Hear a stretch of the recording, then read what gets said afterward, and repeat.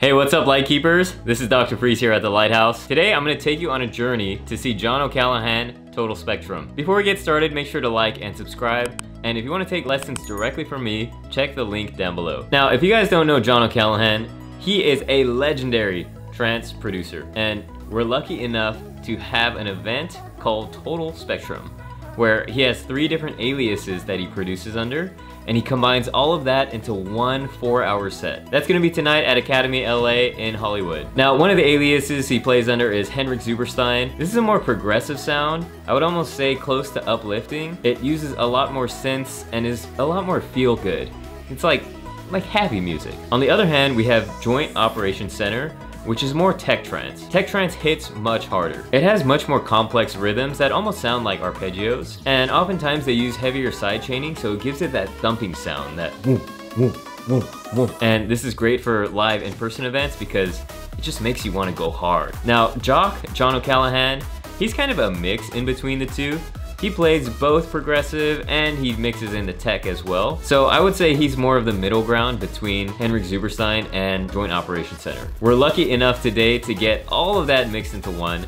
And so I'm super excited for what he's gonna throw down. One of the homies Mumbles is coming through and we're gonna meet up some of the TNT members that got a table over there. So strap on those boots and let's go ride.